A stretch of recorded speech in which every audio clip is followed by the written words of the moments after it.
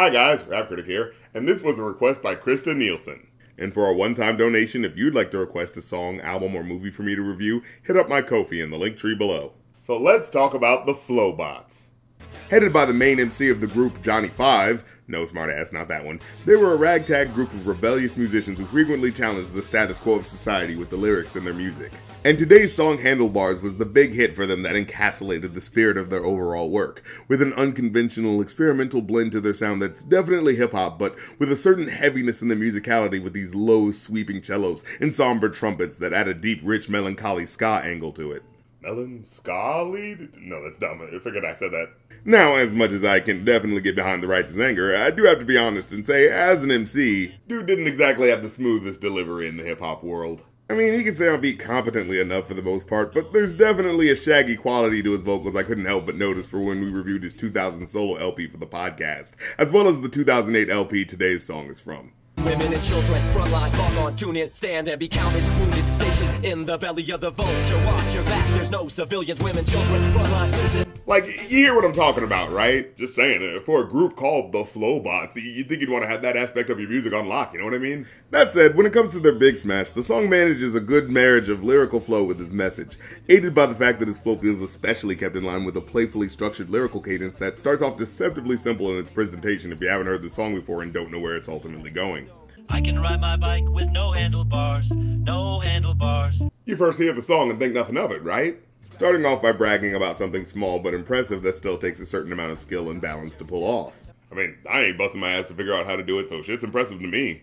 Look at me, look at me, hands in the air like it's good to be alive, and I'm a famous rapper. And as the verse starts, his first words immediately ring like a bratty kid pulling his mom's sleeve for attention and praise for something complicated they did. But then with the next line, he switches that imagery of the hands being in the air while riding the bike in front of his mom to being about the hands held high at his concerts, paralleling in both scenarios that feeling of accomplishment. That I'm a famous rapper, even when the past are all crooked D. However, that following line already sets up an ambivalence towards the desire for that feeling, hinting at the myriad of conditions through one's life journey that can affect and mold the desire for that gratification. He quickly gets back on track though, with listing a bunch of different stuff he's done with varying degrees of importance. I can show you how to scratch a record. I can take apart the remote control, and I can almost put it back together. And again, up front, the song doesn't directly feel political or anything. It's just this slice of life song about this quirky white dude telling you all the quirky stuff he's done in his life.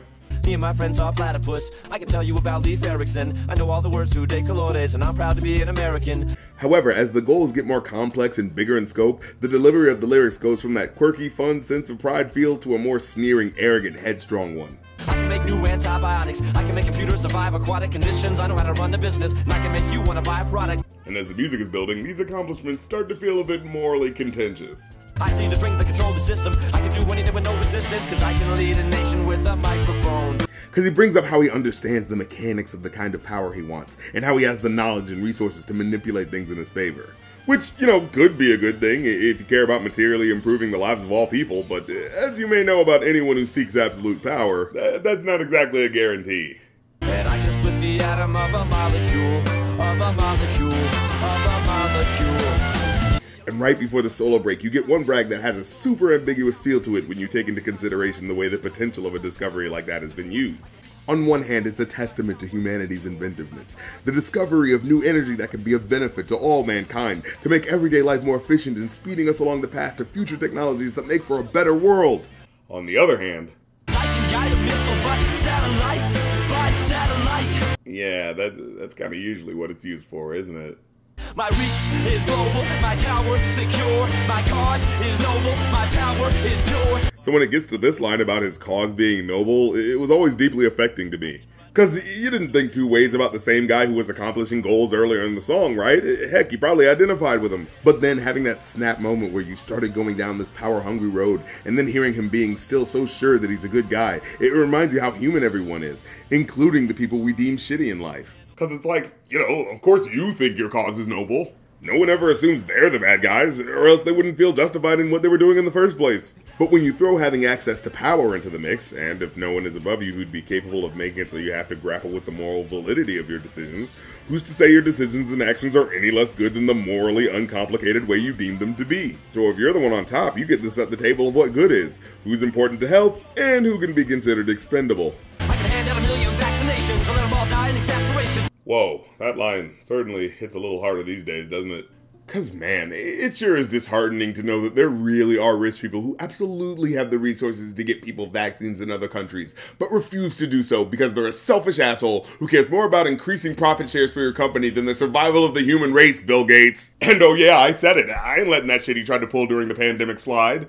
We're in the midst of a goddamn world-ending event, and this motherfucker gonna say, "Oh well, hold on now. We can't just give a patented formula for a vaccine to these brown people. Uh, uh, they probably don't have the proper factories for it. So let, us just let American companies do as much as the rational market demands. And when the American companies are done, then the surplus can trickle down to the rest of the. Get the fuck out of here with that shit. Because as it turned out, those brown people do have the proper factories and would know the protocol of how to provide the proper conditions for creating the vaccine if you know you just emailed it to them." So please, quit acting like you're not just trying to make another monopoly on a patent, just like you once tried to do in computer technology. I mean, seriously, can we stop playing around with risking civilizational collapse just so a handful of companies can increase their fucking profit shares? For fuck's sake, it's not the 90s anymore. We see what you're doing in real time, asshole!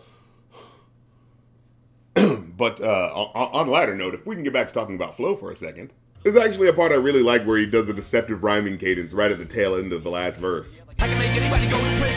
Because I don't like them, and I can do anything with no permission. I have it all under my command. See, you may have thought the rhyme ended on the phrase just because I don't like them, and the and is just the start of the next phrase. But when you hear the final line, the last word recontextualizes the stressed and as now retroactively part of the rhyme scheme.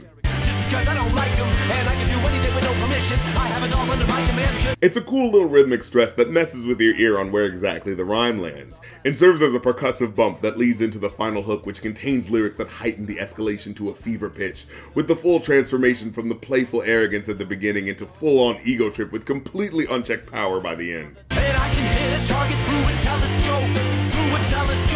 Capping things off with the unfortunate logical conclusion of this path.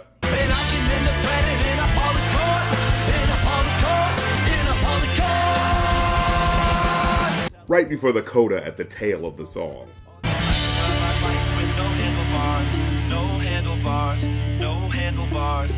The innocent lyrics now a haunting reminder of the dark outcome that sprung from the fulfilled potential of a person who started their journey off doing something so innocuous. It's a somber tale about our capability as human beings, at once celebrating the ingenuity of mankind while also deconstructing how, unfortunately, it's the selfish tendencies within us that frequently guide that potential, which often leads to tragic results. On his inspiration for writing the song, the MC Johnny Five said, It's tragic to me that the appetite for military innovation is endless, but when it comes to taking on a project like ending world hunger, it's seen as outlandish. It's not treated with the same seriousness.